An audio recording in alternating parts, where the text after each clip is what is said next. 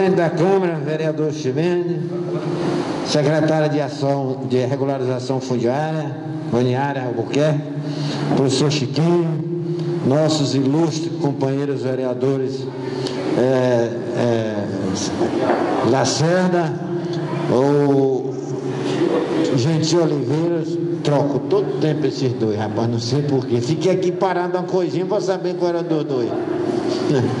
Senhoras e senhores, o governo federal, o Congresso Nacional, por iniciativa do governo federal, criou uma pasta chamada regularização fundiária.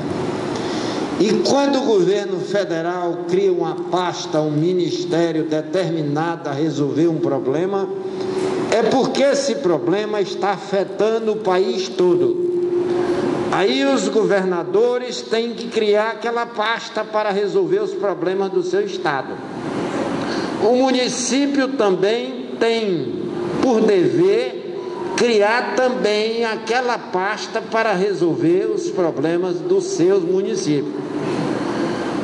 No nosso estado do Maranhão, 90% das prefeituras ainda não criaram a regularização fundiária. Nós fomos a segunda cidade a criar regularização fundiária. Aqui nós tínhamos e continuamos tendo problemas com terrenos, com posse de terreno.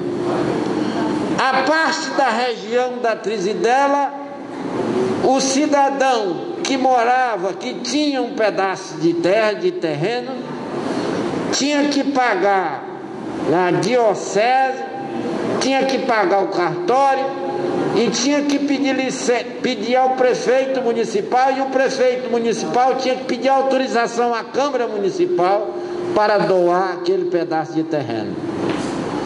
Ali onde hoje, por exemplo, vou dar exemplo para vocês, é o bairro João Viana. Ali era propriedade da fábrica de tecido. Essa onde hoje é aqui a, o centro de cultura. Chegou aqui a Ramires, fez uma proposta de compra e venda, mas teve que doar uma boa parte para o município e para o sindicato rural. É ali hoje onde é o João Viana, por exemplo. Ali ficou uma parte para a prefeitura e outra para o sindicato rural. Ainda hoje, quando um quer vender uma casa ou um terreno ali, tem que procurar o sindicato ou a Ramírez para pagar alguma coisa. Com a chegada da regularização fundiária, e assim foi a mesma coisa ali onde vocês estão instalados. Com a chegada da regularização fundiária, o nome já diz, veio para regularizar, da direita quem tem direito.